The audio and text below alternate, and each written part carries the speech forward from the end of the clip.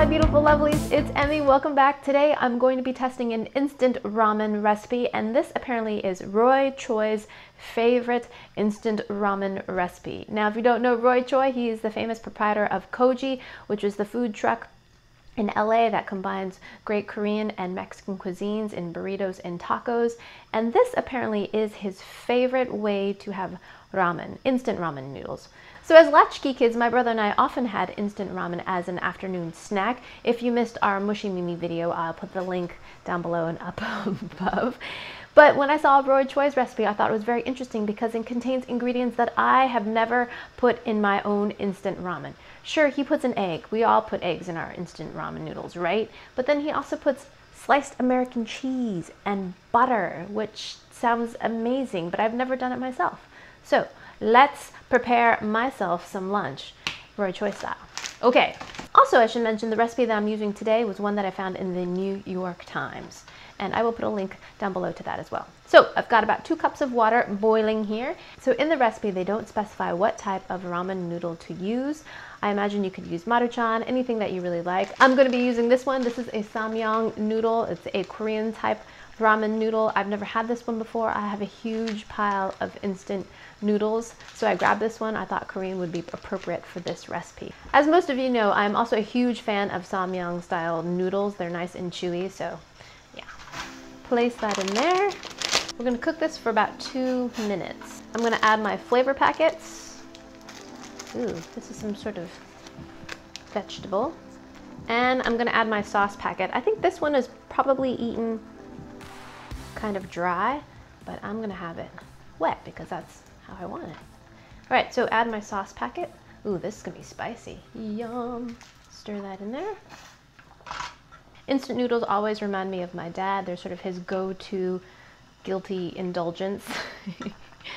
and he would always put an egg in. As a kid, I never really enjoyed having a poached egg in my ramen noodles, but I've come to appreciate it now because that little extra bit of protein in there totally rounds it out. Okay, let that boil for a little bit. And this smells fantastic. I can smell the chili in there, but I also smell kind of like dried squid. Ah, it smells good. So now the noodles are about maybe 60% cooked. We're gonna turn off the heat. And now we're going to add our egg. So I'm gonna push the noodles to the side a little bit. And I'm gonna add one egg. This is one of my Chickadoon eggs. We're so pleased. The chickens are now five months old and they are all laying. And my sons take so much joy in checking the nesting boxes for eggs. They actually fight to do it, which is kind of annoying, but it's really, really such a gift to have little fresh eggs. Okay, so what we're gonna do next is crack our egg and we're going to place it into our soup gently. Now we don't wanna mix it. We're gonna take the noodles and carefully cover the egg. The recipe says to do this for one minute. If you like your eggs more cooked, then by all means heat this up, cook it till it's completely hard. It's really up to you because this is your instant ramen noodle after all. The recipe calls for two slices of American cheese. I'm going to place these at the bottom of my bowl so they can get all the broth and melt nicely. And now I'm going to carefully pour my noodles on top. Oh yeah. Here's my egg, beautifully poached, butter. I'm gonna combine the cheese and the butter. Look, you can see that the broth is already changing consistency.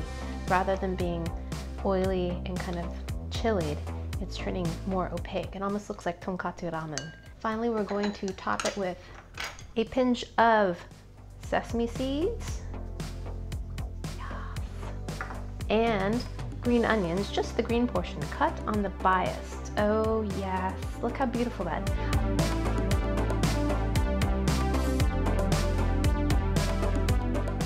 Oh my goodness, this looks amazing. Yes, come to mama. Let's do this. Oh, yes. That's beautiful. Perfectly cooked egg. All right, I can't stand it. Let's eat this. Oh my gosh, it looks amazing. All right, I'm gonna mix everything in there. Make sure that the cheese is completely melted. Itadakimasu.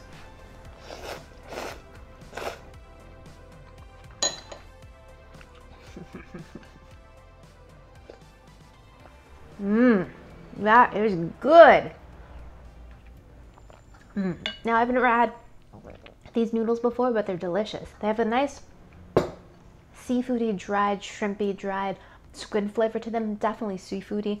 And of course, I've got the great chewy signature samyang noodles. But I have to say, that little bit of butter and two slices of American cheese in there, ha ha ha, makes this decadent and just scrumptious. Mm. Not only does it give it additional flavor and richness, it gives it a smoother texture and body, almost more like sauce-like, even though this is definitely soup. So smart, I love it. Now I'm gonna have some egg. Mmm, perfectly cooked. This was also a smaller egg, so if your egg is larger, it'd probably be a little bit more time. Am I getting it all over my clothes? Lovely. Ah, all for the sake of you guys. And of course you have the fresh green onions in there, which I am a huge fan of. It brightens things, enlivens things, makes it taste more fresh. And of course it's green and against the ramen noodles, it's just so stinking beautiful. Yes, make this. Thanks Roy Choi for sharing it. Thank you guys so much for watching. I hope you guys enjoyed that one. I hope you guys learned something. Let me know down in the comments if there's a recipe that you'd like me to test out or try. Subscribe like this video, share it with your buddies and friends, follow me on social media so you know what I'm, you know, is going on in the world of Emmy, and I shall see you in the next video. Toodaloo, take care, bye!